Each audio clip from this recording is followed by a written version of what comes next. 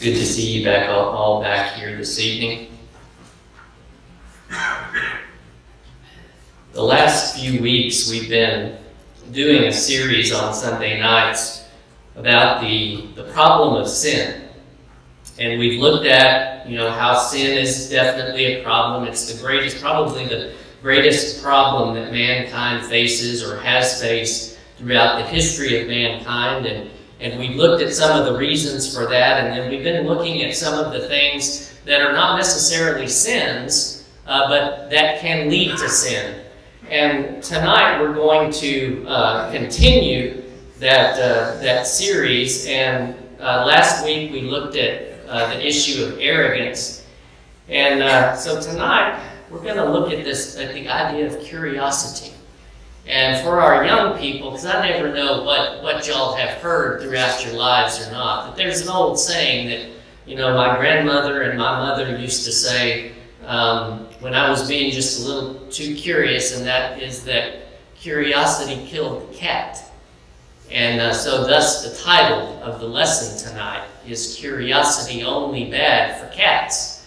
Uh, and so, we're going to talk about uh, this idea of curiosity and the role that it can play in whether we sin or whether we don't sin.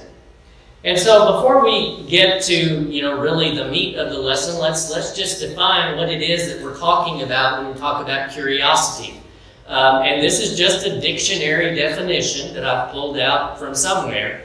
Uh, but it, it's uh, the desire to learn or know about anything inquisitiveness, asking questions, being curious, an interest that leads to inquiry. So, you know, true or false, curiosity is only dangerous for cats. Well, we're going to look at that tonight. Uh, because we're going to see, I think, that curiosity is not just dangerous for cats, it can be dangerous for us as well. Curiosity in and of itself is not a sin, but it can sure get us there. And so we'll talk about that. And, you know, because, again, that's the second question true or false, not all curiosity is bad. And that is true. Not all curiosity is bad. So tonight we want to see how curiosity can either influence us to sin or it can influence us to good. And so that's where we're headed tonight with this lesson on this subject. And the first thing that I want us to understand without a doubt is that curiosity is a God given trait. It is something that God has put into each and every one of us. And I want you to go back over to Acts, the 17th chapter, to the passage that Brother Ken read for us tonight. Uh, and what we have here is Paul is in Athens and he is looking around and he sees all of the different temples and, and, and memorials and everything else set up to all uh, of the uh, of the false gods. And it says there in verse 16 of Acts chapter 17 that his spirit was provoked. He was stirred up when he saw that the city was given over to idols. And so he reasoned in the synagogue with the Jews and with the Gentile worshippers. But I, and I don't know if, if Paul knew about this beforehand, but what we see in verse 21 is that the Athenians were a very curious people. It says, All of the Athenians and the foreigners who were there spent their time in nothing else either to tell or to hear some new thing. They were curious, always curious to hear something new. So, you know what that did for Paul? That opened up an opportunity. An opportunity to use the curiosity of the Athenians for good he used that opportunity to talk about the existence of the unknown God because they had a temple set up to the unknown, just in case they missed one. They had a temple set up for the unknown God, and Paul used that to show them who that unknown God. And so, in his explanation, and we're not going to reread it because Ken did a great job, but he talks about how it's it's man's God-given curiosity that causes him to seek God. Look at verse 27. He has pre-appointed the times and the boundaries of the dwellings of man, verse 27, so that they should seek the Lord in the hope that they might grope for him and find him, though he's not far from each one. Why does anybody seek anything? It's out of curiosity. It's because they want to find something. So it's man's curiosity then, this God given trait that causes him to ask some of the most important questions in his quest for God. How did I get here? What am I doing here? What is my purpose? And where am I going? Where did those questions come from? But our innate curiosity. That thing that God has put within us to ask questions and to be curious and try to find answers. But it's when man begins to use his God given traits to pursue evil that they lead him into sin. Just a couple of examples. Think about the God given trait, and it is, we don't like to talk about it too much, but sexual desire. That is something that God has put in to each and every one of us. It's a God given characteristic of mankind, and it's wholesome and it's good when it's used like God intended it within the confines of marriage. But that same God given trait becomes sinful when it's used outside the marriage relationship. And you, okay, here's one that is not so controversial hunger. Don't we all get hungry? Isn't that a feeling or a, a, something that God gives us all? It's useful and it's needful for us to maintain our strength and the health of our bodies. The feeling of hunger but it becomes sinful when we use it to engage in gluttony, because gluttony is a sin. And so we can see how, just like sexual desire, just like hunger, Satan can use our curiosity to lead us into sin. And again, I can't think of a much better example than going back to the very beginning in the garden with Adam and Eve, Genesis chapter 3, verses 4, and 4 through 6. The serpent said to the woman, after she told him, God said, In the day that you eat of the, the, the fruit of that tree, you shall surely die. The serpent said to the woman, You will not surely die, for God knows that in the day that you eat it, your eyes will be open, you will be like God, knowing good and evil. So when the woman saw that it was good for food, that it was pleasant to the eyes, and a tree desirable to make one wise. She took of its fruit and ate, and she also gave to her husband with her, and he ate.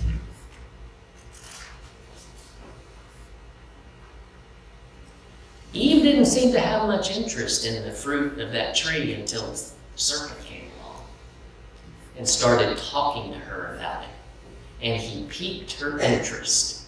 He piqued her curiosity. And isn't that the way kind of things work sometimes? Something forbidden kind of leads to increased curiosity. Ooh, it's mysterious. Let's find out a little bit more about that. God had forbidden eating of the tree but what Satan did is he came along and he minimized the consequences and he highlighted the benefits. And he's been doing it ever since. Because that increased Eve's curiosity and her desire to learn more about what God had forbidden.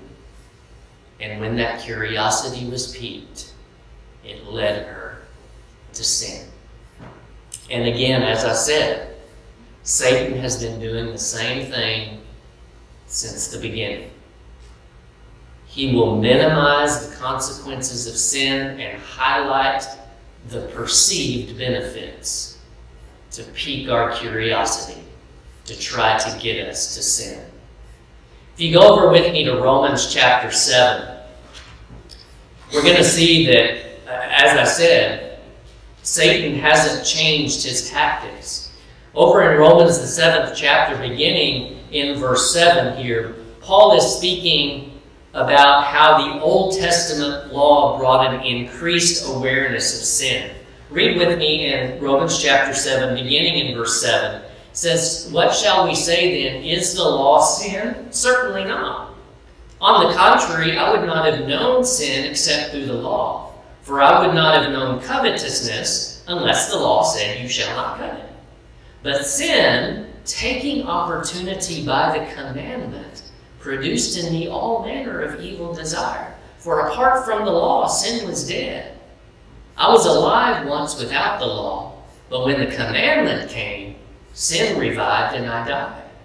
And the commandment which was to bring life, I found to bring death. For sin, taking occasion by the commandment, deceived me, and by it killed me.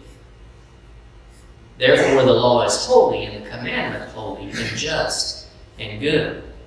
Again, as, as I said, what Paul is talking about here is how the Old Testament law brought an increase in the awareness of sin. It taught the Jews what sin was, specifically, what God said sin was. But hopefully, you heard the inflection in my voice as I read verses 8 and 11, because Paul is really telling us that a lot of times something that is forbidden can lead to an increased curiosity, which can happen if we don't have the proper attitude about sin. If we don't see sin as disgusting and as abhorrent as God sees it, then our curiosity is more likely to lead us to pursuing those things that are forbidden. We've got to have the proper attitude towards sin so that even when we're curious about it, it doesn't lead us to sin. Because we can remember, oh no, wait a minute. God hates that. God thinks that's disgusting. God can't even look at that. That's the attitude that we need to have. And I want, I want, some, I want you to understand too, because I think this is a misperception. I'm not talking about that God finds people disgusting and abhorrent. What he finds is their sin disgusting and abhorrent. And, and we need to have the same, we need to have compassion on people. But we also need to have a proper attitude toward the sins that they may commit. And we need not become curious by the lifestyle that they are leading and let it lead us into sin. I think we miss the mark sometimes on our compassion and our our, our love toward people because of our attitude towards sin. That's, that's a different lesson. We'll, we'll talk about that some other time. So let's talk about the danger of just one sin. As I've, as I've already mentioned, Satan, one of the tactics, one of his main tactics, is to minimize the consequences of sin. It's not really that bad. It's not as bad as people make it out to be. And look at all the good that can come from it. Look at all the pleasure you can get from it. But the way that he does that, the way that he tries to minimize the consequences of sin, first of all, is by telling us the lie no one else will know. You can do this in the privacy of your own home, out of the public eye, and no one else will know. What's wrong with that? Someone else will know. Because God will know. And if our minds and our consciences have been trained right, we'll know. And our consciences will convict us as well. But even if no one else knows, someone else will know. God will know. And He's the most important one when it comes to who will know. This is the next one is the one that's probably the most popular. It won't hurt anyone. Or I'm not hurting anyone else by doing what I'm doing.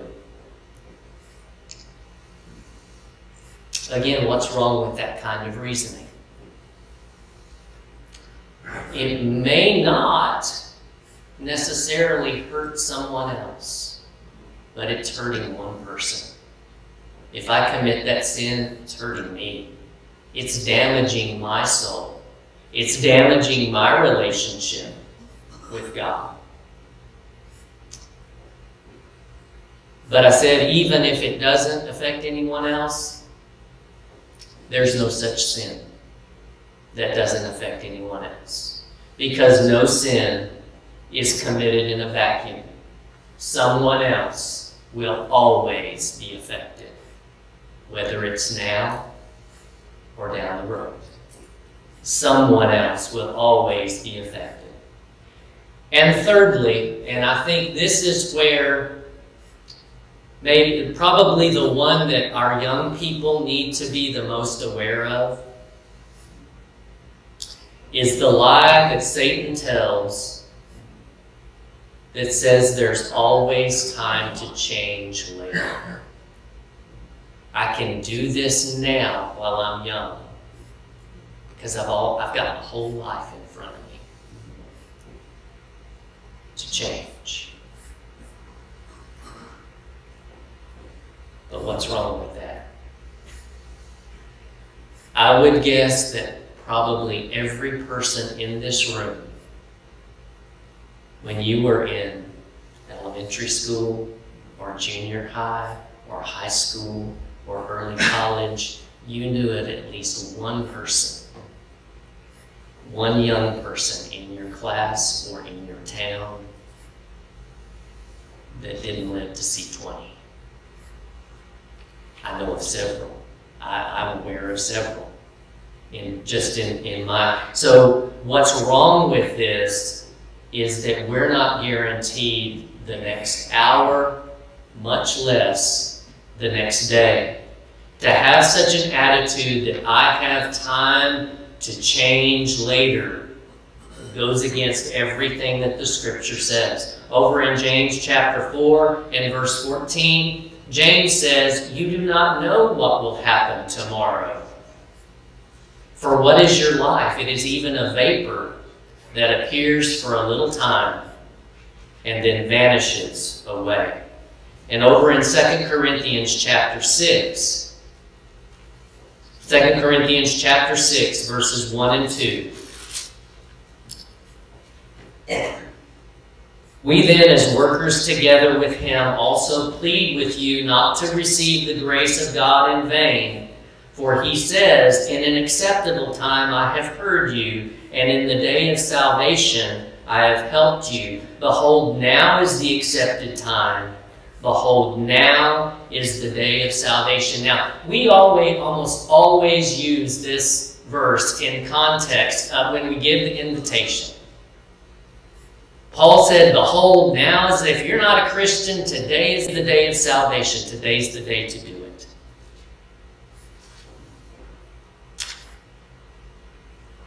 But I think we can use it another way. And that is if you're being tempted to sin, if your curiosity has been piqued by the temptation to sin, remember today is the day of salvation. Today is the day to do the right thing because you don't have, you're not guaranteed tomorrow. So don't fall for Satan's lies. When he tries to say, do it because no one will know, it won't hurt anyone, or do it now, but you can change later. Because one sin can have everlasting consequences. You remember over in Acts chapter 5 when a lot of the new Christians that were in Jerusalem were selling their property and they were bringing the proceeds to the apostles. A man and his wife by the name of Ananias and Sapphira. And they sold their land for a certain price. But then when they brought the money to the apostles, they basically said, We sold it for less so that they could keep the extra. So they lied. They lied about what they had done. Do you remember what happened to Ananias pretty much the minute the lie was out of his mouth? He fell down dead. And when Sapphira came in later and the apostles asked her, Did you sell the land for such and such? Yes, that's how much we sold the land for. some of the some of the scariest words that I've ever heard. Peter said, "Behold, the feet of those who carried your husband out are waiting at the door to carry you out too." Because she fell down dead too. It's the consequences of one sin. One sin can have eternal consequences. And if you remember over in Acts, the eighth chapter, with Simon the sorcerer, and let's just go over there because I want us to see what the state of Simon was after one sin, the one sin of trying to buy the ability to lay his hands on people to pass on the Holy Spirit. Over in Acts chapter 8, Verse 20 Peter said to him, Your money perish with you because you thought that the gift of God could be purchased with money. You have neither part nor portion in this matter, for your heart is not right in the sight of God.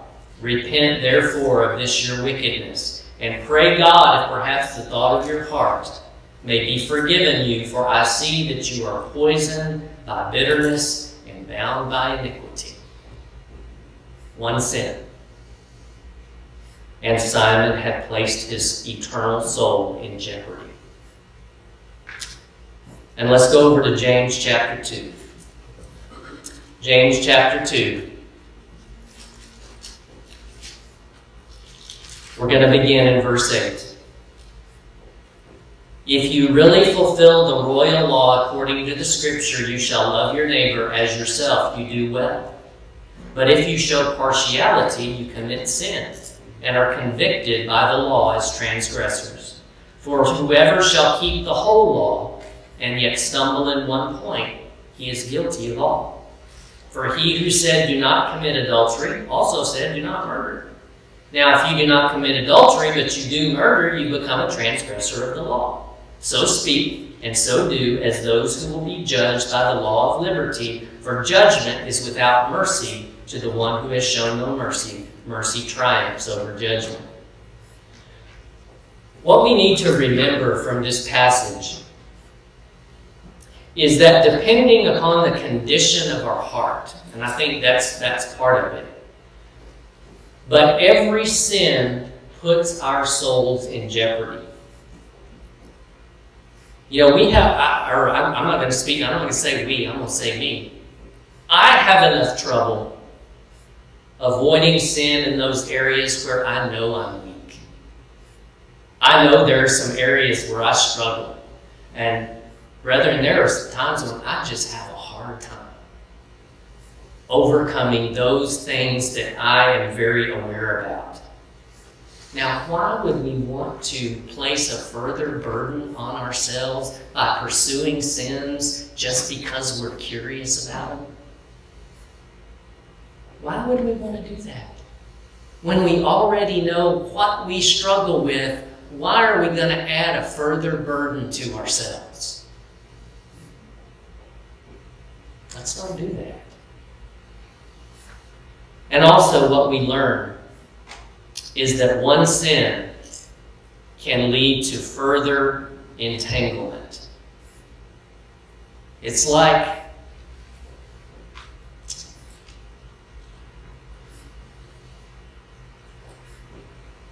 have any fishermen in this in this? Anybody that's ever run a trot line? Running for catfish. And you're pulling up those hooks and you get stuck on one of those hooks on the trot line. And you start flailing around trying to get that one hook out. Before long, before you know it, you got all those hooks in you. You're just all entangled in that trot line. Well, that's what one sin can cause. One sin can lead to further entanglement. Look with me at 2 Peter chapter 2. 2 Peter chapter 2, verses 19 and 20. While they promised them liberty, Peter's talking about false teachers here. He said they promise liberty. They themselves are slaves of corruption, for by whom a person is overcome, by him he's also brought into bondage. For if, after they have escaped the pollutions of the world through the knowledge of the Lord and Savior Jesus Christ, they're again entangled in them and overcome, the latter end is worse for them than the beginning. So again, as I said, Peter here is talking about false teachers and those that follow after them, but he shows us that, that sin, any sin, can lead to further entanglement in more sin. What may begin as curiosity can become habit and addiction. How many people, and I'm, I'm thinking especially of my dad's generation, how many kids do you know of that started out smoking because they were just curious or they thought it just looked really cool. So they smoked that first cigarette. And it might have made them a little sick, but you know, oh, that was just one. So let's try it again. Before you know it, what happened? 50 years down the line, they've got a five pack a day habit. So this is, uh, you know, one bout of curiosity can become a habit and sometimes an addiction. And then Peter says, the last state becomes worse than the first. We'll skip over Hebrews chapter 10 because I, I, I, I harp on that one way too much. But I want us to think about 2 Samuel chapter 11 and the case of David. Know that David went out on his rooftop at night and he looked down and he saw a woman bathing on her rooftop. What do you suppose it was that led David to gaze upon this woman as she was bathing? Curiosity. He saw something he didn't normally see. And he went to look. He was curious no doubt a large, not all, I'm sure, but a large part of it, no doubt, was curiosity. But what I want you to remember is where that curiosity led David. It led him to inquiring after another man's wife. It led him to committing adultery, to getting a man drunk, and ultimately having that man killed. He was curious about that woman that he saw on the rooftop. One curious glance where his gaze had no business wandering led to all of that sin. And it ultimately led to the death of a child. And it led to him having the kingdom taken away from. All of these things cost David uh, from one curious glance. So, curiosity is not a sin that's worth our time. We should know enough, know all that we need to know about the destructiveness of sin from personal experience. I'm not going to ask for a show of hands tonight, but I want you to think about this. How many of you have committed sins in your life that you're still feeling the consequences from? or that had very serious consequences in your life at one point. We should already know all we need to know about what sin can do without trying some new sin to see how destructive it is. Romans 3.23 the wages of sin is death. All have sinned and fallen short of the glory of God, Romans says as well. We should know about the destructiveness of sin from others. If we can't learn from our own sins, maybe we can learn from the sins of other people. Because how many of us know someone who has committed sins that have practically destroyed their lives? I think we all do. 1 Corinthians chapter 10 and verse 11. All of these things, he's talking about the Israelites here. All of these things happened to them as examples. And they were written for our admonition upon whom the ends of the ages have come. If you don't know anybody personally who's been affected by the destructiveness of sin, read the Old Testament. And let me introduce you to some people who have the Israelites, because they did it over and over and over. And we should also already know that the satisfaction and the pleasure of sin is temporary. We talked last week over in Hebrews chapter 11 where it talks about Moses, how he forsook the passing pleasures of sin to suffer with his people. Moses knew that sin, the pleasure we get from sin, is only temporary. But the consequences of sin, consequences of sin, are eternal. Romans chapter 6 and verse 23. And I, I, I, I do this all the time. I mix up 623 and 323. But Paul says in Romans 6.23 that the wages of sin is death. It may feel good now, but boy, when the paycheck it's not going to be fun. But not all curiosity is bad. You think about the Jews on Pentecost. Where would the people on Pentecost be without the curiosity to ask, Men and brethren, what shall we do? Their curiosity led to something very, very good. Where would the Ethiopian eunuch be without the curiosity to know more about God's Word? He was reading from Isaiah, and Philip said, Do you understand what you're reading? He said, How can I? Unless someone guide me. He had the curiosity to ask for help, to learn more about God's Word. And so we need to be the same way.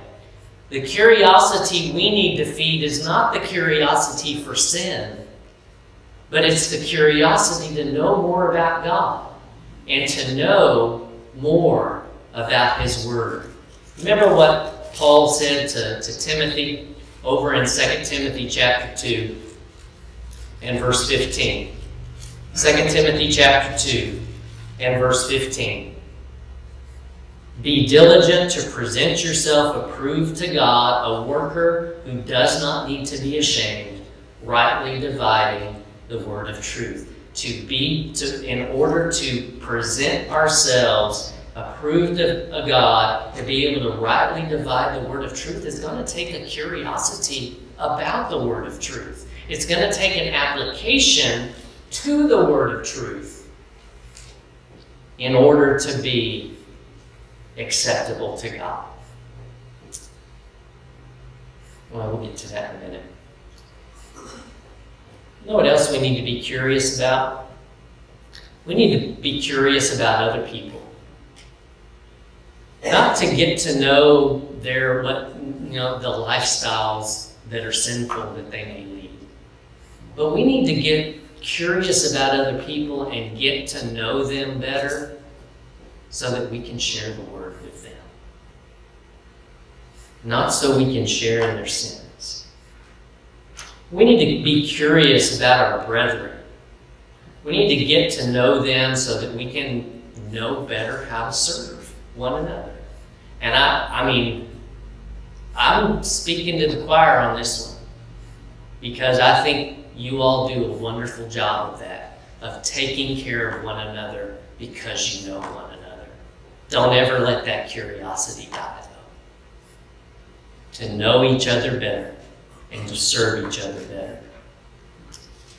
But we need to find ways to satisfy our curious spirits in ways that bring further glory and honor to God more so than in ways that are going to carry us further away from God. Don't be fooled by the bells and the whistles and the shininess and the glitter that Satan puts on sin. But be curious about the glory of God. Be drawn to the glory, the majesty, the power, the awesomeness of God. Let your curiosity be fed there. We'll do all right. So, that's all I've got for tonight. But there may be someone here tonight whose curiosity has led them to a point where they're ready to become a child of God. And if you have reached that point, if you are if you believe that Jesus is the Christ, the Son of the living God, if you are ready to confess that, repent of your sins, and be baptized, God has promised to take away your sins at that point. And we are ready and eager to help you do that tonight. Or if you're one of our brothers and sisters already, but you've kind of had some issues with letting your curiosity get the best of you, and there is something that we can help you with, you will find prayerfulness, you will find love, you will find compassion and mercy for whatever it is you need help with. So we offer that opportunity as well tonight. Whatever your need may be, we invite you to let us know how we can help as we sing this invitation song.